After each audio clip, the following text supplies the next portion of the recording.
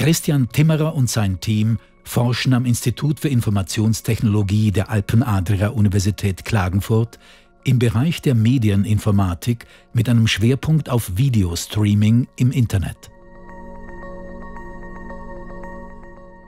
Der Zugang zu Multimedia-Inhalten über das Internet hat in den letzten Jahren stark zugenommen und ist zu einem wichtigen Bestandteil unseres täglichen Lebens geworden.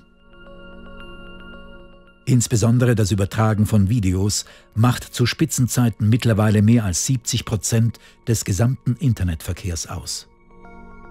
Menschen sehen sich Live-Sportevents oder ihre Lieblings-TV-Serien auf einer Vielzahl an Geräten an, wie internetverbundene TV-Geräte oder Smartphones. Dabei kommen sowohl mobile als auch kabelgebundene Netzwerke zum Einsatz.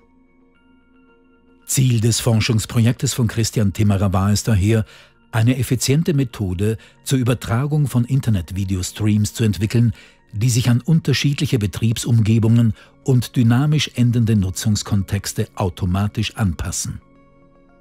Das im Rahmen des Forschungsprojektes entwickelte Test-Framework ermöglicht nun die objektive Bewertung von Ergebnissen unterschiedlicher Forschungsinstitutionen.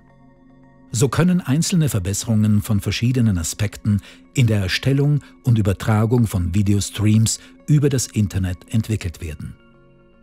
Auf Basis der Forschungsergebnisse wurde bereits 2013 die Firma Bitmovin GmbH gegründet, mit dem Ziel, die Technologie auf den Markt zu bringen.